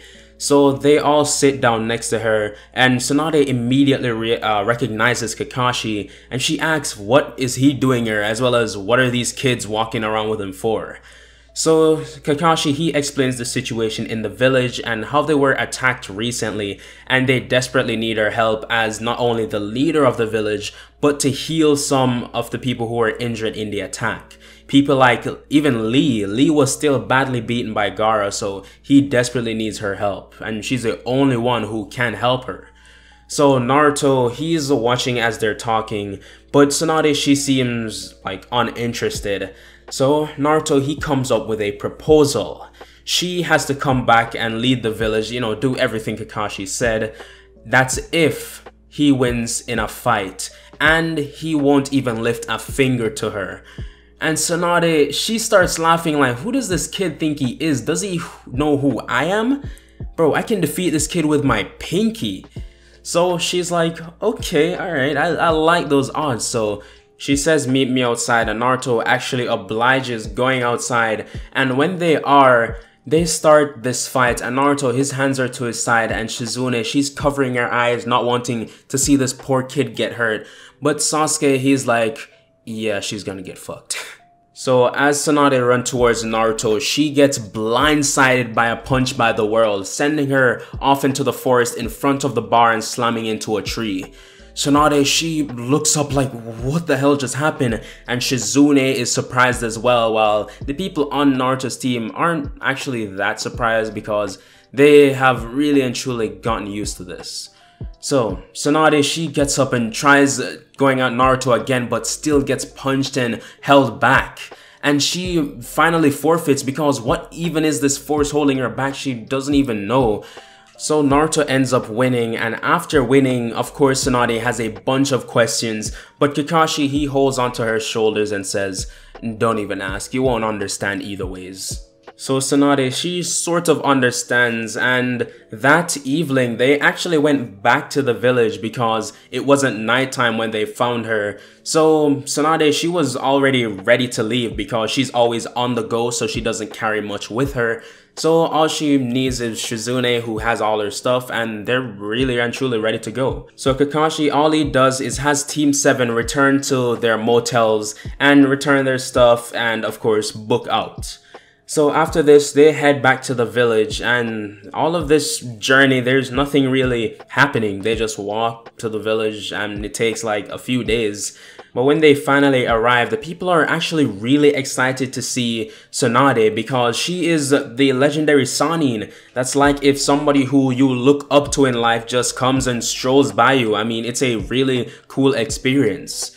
So of course, Tsunade, she does her work in the hospitals, healing up almost everyone because there were some life-threatening injuries that she led the medical team into pretty much bringing them back to full health. Even Lee, who we know got messed up by Gaara. So yes, Tsunade officially becomes the 5th Hokage and she starts doing her duties almost immediately so we start this what if off where we left off last time with Tsunade bringing some order to the village again after healing some people and coordinating efforts to rebuild the village. After all that stuff, she's actually been chilling in the Hokage's office pretty much in peace. She's just been mainly doing paperwork, so we get to the three year time skip and during this time Naruto would stay in the village and continue to train his time stop after two and a half years being able to do 8 seconds with time stopped. Also during this time, Kakashi tried making Naruto learn some elemental jutsu, but apart from the ones that every ninja knows like substitution and even chakra control to wall walk, Naruto, that's really all he got. So during all of this time, Naruto had a lot of time to himself and the times he wasn't training, Naruto just thought about different things and one of those being his parents because he does remember um, the world because in this the world is a demon. So when it talked to Naruto all those weeks, uh, it's been a week now, like part one. In part one, he told Naruto about his parents, so he was curious about them. So he decided to confront Tsunade about this. So Naruto goes to the Hokage's office and he goes in and sees Tsunade just signing some papers. So he asks her if she knows anything about his parents, and Tsunade kind of freezes for a second because she doesn't know if she should be truthful because Naruto is grown enough. He she feels like he should know, but she continues to keep it a secret, telling Naruto she has no idea. But Naruto at this point, having talked to multiple people and having different expertise, he can sort of tell that she's lying. So Naruto, he comes up with a plan and says, oh, I, I heard there was fighting down the hall, like in the building itself. And Tsunade said, oh, are they at it again? So she gets up and goes outside and using this time that she's out of the office, Naruto, he goes around and starts looking through some of her files. And Naruto, he's searching, searching, and like she's probably on her way back. So Naruto is trying to hurry up because he can't find anything but Naruto reaches to the very back of the cabinet and pulls out a file with Uzumaki written on it and Naruto he quickly puts this behind his shirt and that's when Tsunade walks in and says, what are you doing behind my desk? And Naruto, he just kicks in the jar and says, oh, I was just admiring all of this paperwork that you have to do. And Tsunade says, ha, ha, and says, get out of my office, there was no fight.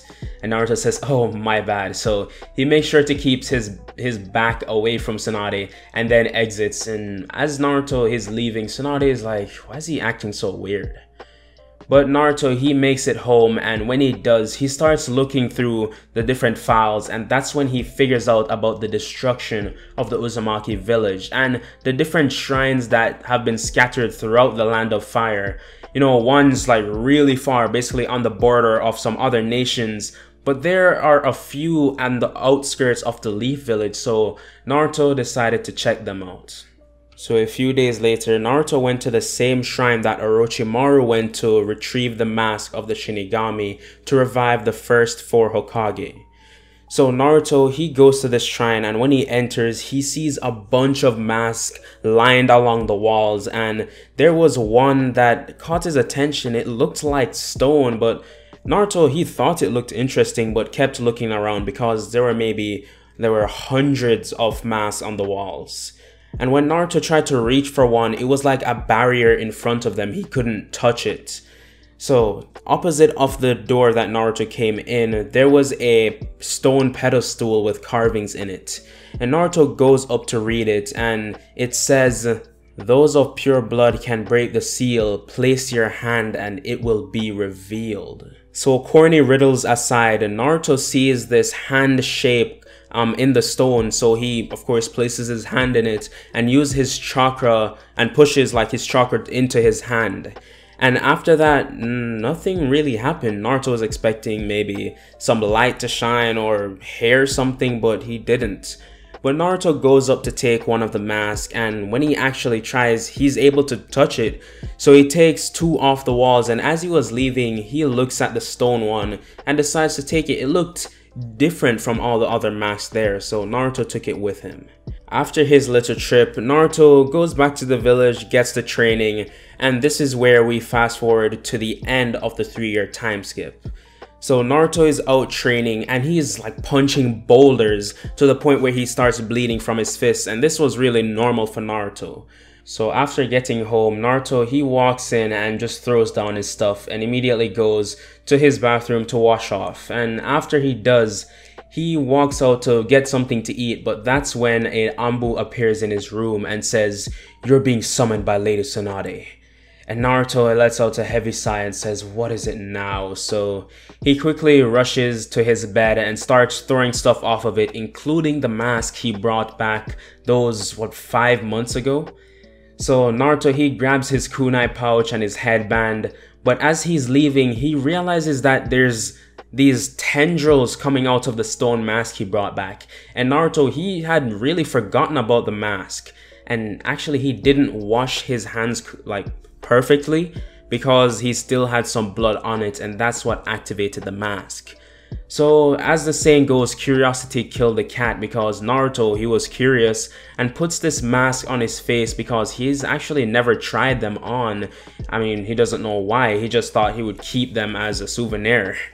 So Naruto, he puts it on and then these tendrils dig into his head and Naruto tries ripping it off but it's on for good and he can't get it off.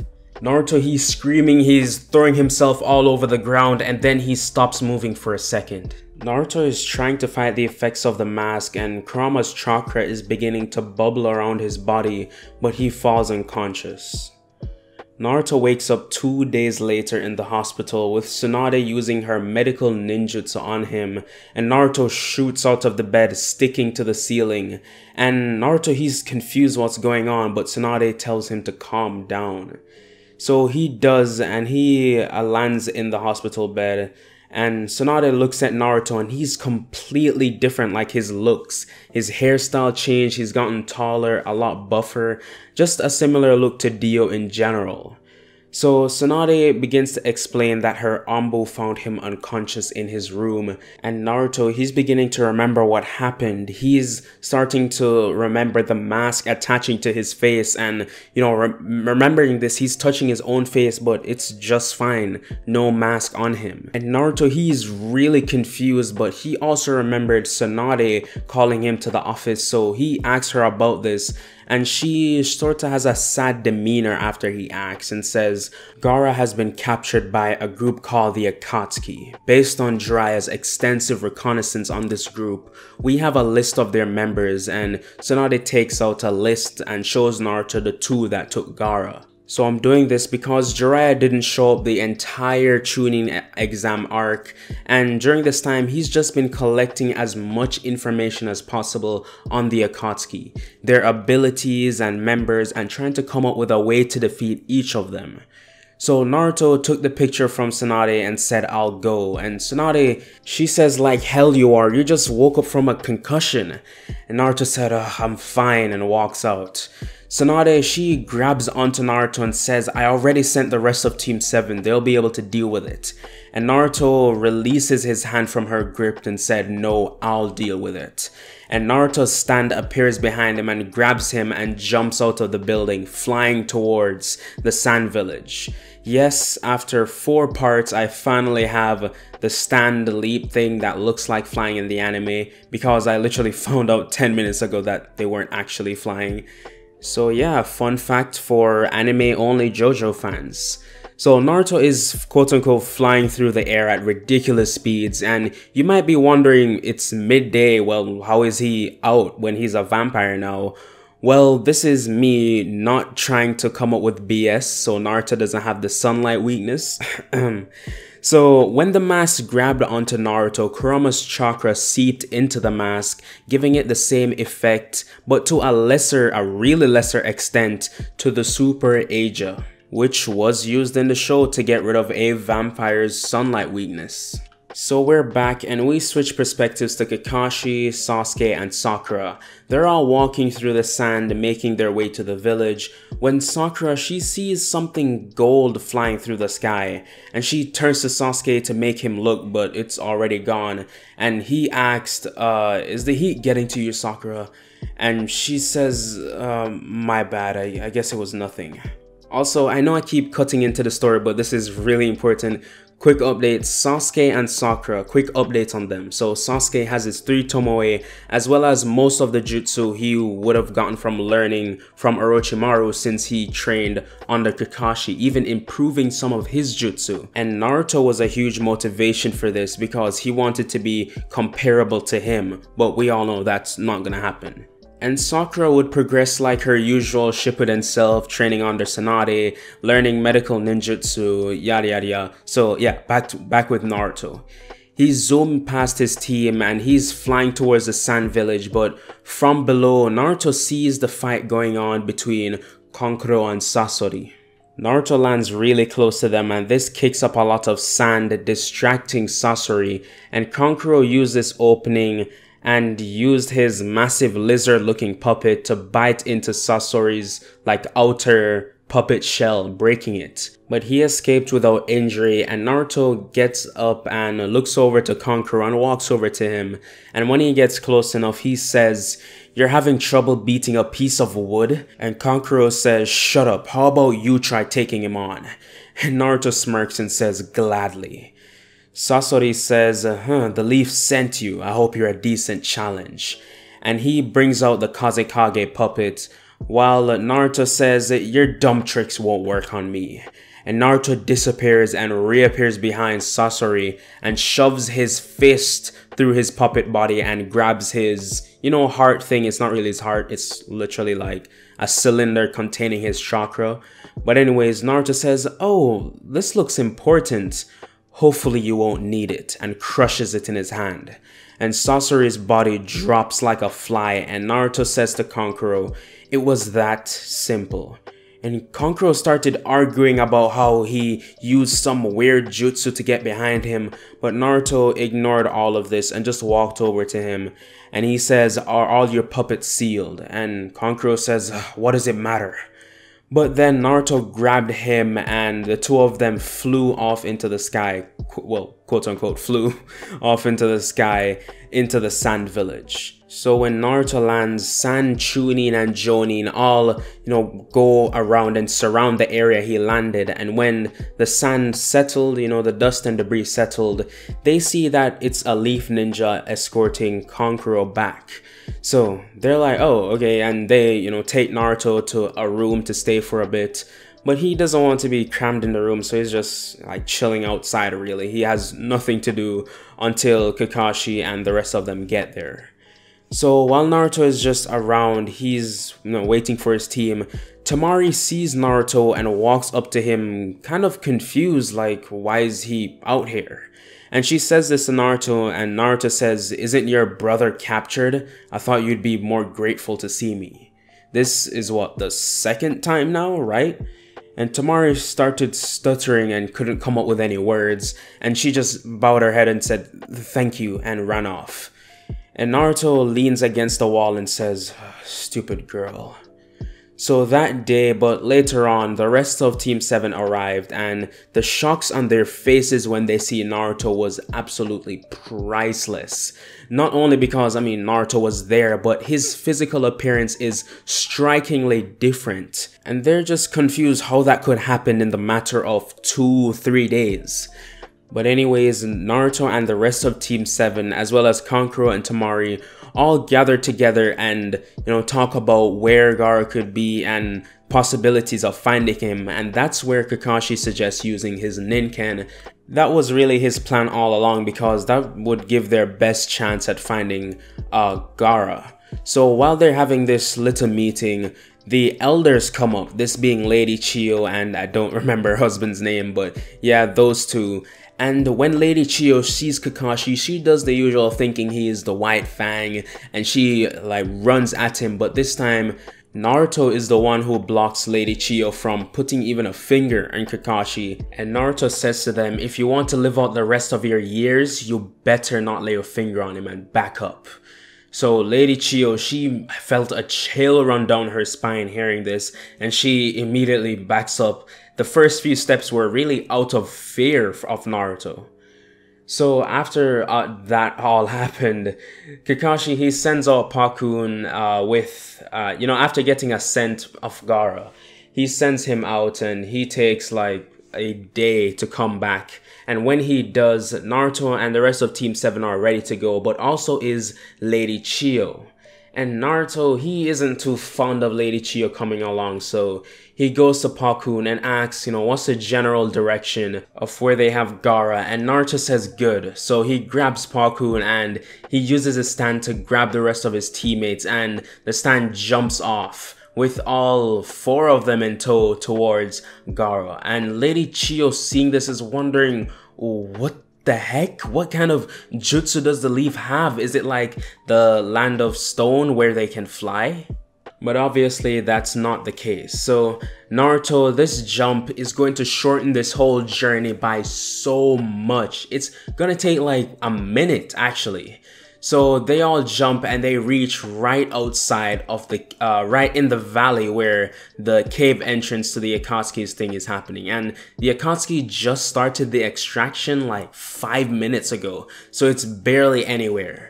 So Naruto, he sees this boulder and Kakashi, he's explaining how this is a seal and there's no way they can get through it. But Naruto, his stand comes out and freaking punches around the boulder, like crumbling the structure of the cave and this breaks the seal, giving them an entrance to get in. And when they're in sight of all the members of the Akatsuki, Pain looked over to Itachi and Kisame and said, I thought I told you to protect this place. And Itachi, he was confused as well because they didn't sense them coming. So Itachi, he explains this and, and uh, Pain, he's just like, whatever. This is your mess to clean up, Deidara. Do it well. And all of the, it's not really holograms, but their projections of themselves all disappear, leaving just Deidara in the room and this is gonna be a field walk. Naruto doesn't even intervene in this match, it's just Kakashi and Deidara. And them being in an enclosed space, this restricts Deidara a lot on the type of explosives he can use because he can easily collapse the entire cave. So Kakashi, who now has a better handle on his Mangekyo ability, the Kamui, he does this to Deidara and traps him in his dimension you know, completely defeating that threat without much trouble. Meanwhile, Pain and Konan are in the land of waves, and Konan asks him, You think he can do it? And Pain says, Of course not. We had Zetsu spy on Naruto for three years, and you and I know how strong he is. And he looks like he's gotten a lot stronger. Konan says, Well, what do you suppose we do? And Pain stops for a moment and closes his eyes like he's sensed something. And then he says to Konan, It seems we have a visitor, or old sensei. And Konan was confused and said, Wait, him? And Pain nodded his head and said, Get ready for a fight. So we switch perspectives to Jiraiya, and like I mentioned, he has gathered a lot of information on the Akatsuki. And after getting the news of Hiruzen's death, Jiraiya felt like he could never show his face in the village ever again without a victory for the Leaf. So he decided to get go at it alone. But the ninjas who were working with him all this time tried stopping Jiraiya, tried convincing him, but there was no changing his mind. So they sent a messenger bird to the leaf to inform Tsunade because Jiraiya is going up against the Rinnegan, said to be the eyes of the gods. So we go back to Naruto and Team 7 and they bring Gaara back to the sand and the medical ninja there you know, heal his wounds he sustained from the battle with uh. So with Gaara's condition stable, Team 7 was really ready to head off. But the people of the village insisted they stay for a feast and I mean they aren't gonna pass up free food. So Team 7 goes to this massive hall with a table there and food lining the tables and there were many high ranking members of the Sand and uh, Temari and Kon Kankuro. So Team 7 started chowing down and Naruto is like Luffy, swallowing the whole chicken and spitting up the bone. And people were shocked with Naruto, but with a body like his, I guess it takes a lot to maintain it. So after Naruto and the others were stuffed, they were ready to get on their way. And Naruto, he's walking out, but Temari runs up to him and says, Please, can I come with you? And Naruto looks back and says, Why? And Temari begins to confess that you've saved both of my brothers and I feel like I should repay you. But one of the members of the Sand Council comes to Temari and says, No, we need you in the village, Lady Temari. But a voice chimes in and says, She can go. And everyone looks to where it's coming from and they turn and see Gaara holding a crutch to, you know, keep him upright. And seeing this, Temari and Kankuro run over and give Gaara a massive hug, seeing that he's okay. And Gaara says, oh, okay, okay, no more hugs, you're gonna kill me. So they both back off, you know, chuckling to themselves. And Gaara looks to Temari and says, Now I get why you hated when we left the leaf. And Temari covered Gaara's mouth and says, yeah, because the food there is amazing. And then she runs off to catch up with Team 7 because they weren't sticking around for all that talking. You know, they had to get back. So Naruto, he's about to walk out of their village gates and Temari catches up with them. And Naruto says, oh, you again, why are you so persistent? And Naruto grabs Temari's hand and she turns red like a tomato and says, don't you think we're going a bit too fast? But then they all flew through the air towards the leaf, and Team 7 makes it back in no time. So once they're there, they go to Tsunade to tell her of the news, but as they walk into the office, they see Tsunade crying over a piece of paper. And Kakashi asks, is everything okay, Lady Tsunade? And she jumps up and, you know, she turns her back to the team and says, uh, yeah, everything's fine. I, I know you all just came back from a mission, but I have another one for all of you. Jiraiya is currently fighting the leader of the Akatsuki, and Sasuke said, well, what's holding us up? No, let's go now. And Naruto butts in and says, you can all stay, I'm fine going by myself. The Akatsuki probably won't be too happy that we interrupted their ritual, so they might attack here. And Sasuke tried butting in, but Naruto said, Sasuke, be quiet for once. I've seen personally how much you've grown over the years and know you can take care of the village. So Naruto walks out of the room and Temari runs behind him and pleads to go with him, but Naruto says she'll just slow him down and Gaara would kill him if anything happened to her. And with that, the world grabbed Naruto and jumped off. While he was flying through the air, the world said, You're getting soft, Naruto, might be because of that girl. And Naruto said, Shut up. But the world continued, Do you really want to be lonely forever? And Naruto says, You and I both know the abilities of this mask. When I put it on, I got visions of what I'd be capable of, and including that is immortality. What's the sense of having a family if I'll outlive them all? And the world kept silent, and the two arrived in the land of rain. And Naruto crashed into the tallest building there and almost got crushed by a massive rhino. Naruto got up and saw Jiraiya fighting off the paths of pain with toads attached to his shoulders. Naruto was confused, but I guess it's one of his jutsu. So Naruto stopped time and went to the animal path and sunk his fingers into its chest and tried sucking its blood, but it had none. It was like a corpse. So Naruto used the remaining 3 seconds to think of how a corpse could be alive, but a, a similarity, I can't speak, a similarity between all of them is the chakra rods, and Naruto took them all out of the animal path, and when time resumed, the animal path dropped to the ground.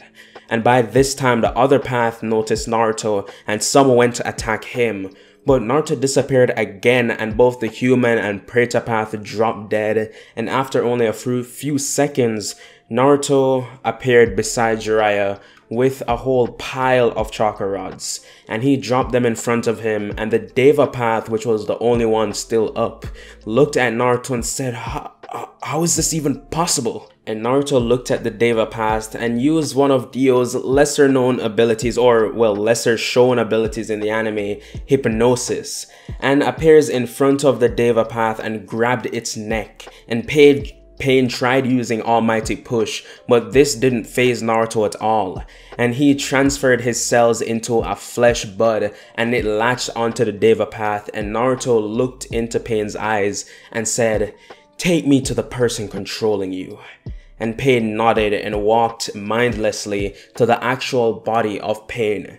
And Jiraiya was surprised to see Konan and Nagato, and he was fighting back tears to see that this is what his students turned out to be. But Naruto wasn't as sympathetic. Naruto asked for them to explain their plans and after getting what he needed, he killed Nagato with one swift move. And Konan was going to step in but Nagato using his last breaths said, stay back, you'll be fighting a losing battle. Konan was going to say something in return but Nagato cut her off and said, just take care of my eyes for me and go off on your own. The Akatsuki's no more. Then Naruto started sucking out the blood out of Nagato's body, killing him, and Konan began crying. And Naruto said to Jiraiya, I guess this is when we leave. Jiraiya nodded but asked how are we gonna get back to the leaf and Naruto without even answering him just grabbed onto him and his stand, you know, the world, jumped carrying the both of them back to the leaf village within seconds. So once they get back, Jiraiya is taken to the hospital and is badly injured from his fight. And Tsunade, who comes into the hospital to take care of Jiraiya, she confesses that she couldn't love anyone else after Don's death, but she doesn't want Jiraiya to meet the same fate. And she wraps Jiraiya into a deep hug. So two weeks later, Itachi arrives in the Leaf Village and he isn't here to fight or anything. He just gives himself up and is restrained by some of the Jonins in the village and taken to Ibiki where he puts him in jail. So because of the Akatsuki, you know, disbanding, the members just left and went about their lives really but Naruto was tasked to take them all down, and the only real difficult part of this was finding them. But after two months, all the members of the Akatsuki except Zetsu were no more. Sasuke would eventually learn the truth about the Uchiha massacre from Itachi, and Sasuke was livid. He wanted to kill Danzo there and then, but Itachi, he had a plan to make Sasuke even stronger the eye transplant to give him the Mangekyo. And they both agreed to it, and with Tsunade there to heal both of their eyes, they went through with it, and Sasuke gained the Mangekyo Sharingan, giving him abilities like Amaterasu and uh, Susanoo. So with this newfound power, one night Sasuke went to take care of Danzo for good, killing him. And after a really long fight, Sasuke came out on top. Of course, he was jailed, but after the truth spread to everyone in the village, he and Itachi were released. So with Zetsu's mission failed, no more Rinnegan and Orochimaru nowhere to be found, the village entered a new era, an era of technological development. People lived longer lives and soon being a shinobi wasn't really the only thing children aspired to be. There were scientists, there were doctors, there were a bunch of fields. Still, yeah, shinobi were very much needed. I mean, there were fights going on all the time, so the Leaf needed It was sort of their army, but you know, with magical powers. And Naruto would always be the head of these teams going out to fight. And eventually, when Tsunade retired to live out her life with Jiraiya, Naruto became Hokage. And he would remain in power for years and years since he doesn't age and he would always be in his prime. No, Naruto would live on as sort of the permanent Hokage because they just never had a reason to replace Naruto. He was far stronger than anyone in the village, so it made sense to keep the strongest one in power. But a race from outer space would challenge Naruto's ascent to the top of the Leaf Village, the Otsutsuki. But we're getting into Boruto territory, so that is where I'm going to be leaving this one off. Thank you guys for sticking around to the end of the video. And if you liked it, like. And if you like my content in general, consider subscribing. Also, also guys, huge announcement. I have merch. You guys can check it out. The link is in the description to the merch store. We have shirts hoodies. We have even stickers. And the design i made myself it looks pretty cool. Not gonna lie. So do check that out. Link again in the description. And with that all said i'll see you guys in the next what if